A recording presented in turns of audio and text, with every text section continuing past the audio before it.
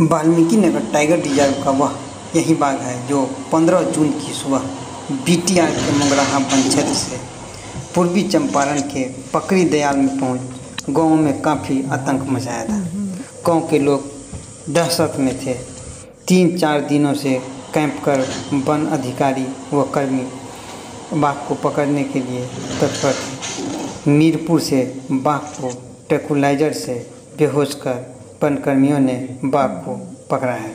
इसको बाघ को पकड़कर फिर सुरक्षित जंगल में छोड़ दिया गया। बीटीआर के वन प्रमंडल दो के हरनाटार वन क्षेत्र के दून जंगल में बाघ को सुरक्षित छोड़ दिया गया। है पिंजरा में बाघ को बंद किया गया था और पिंजरा को खोल दिया, बाघ भाग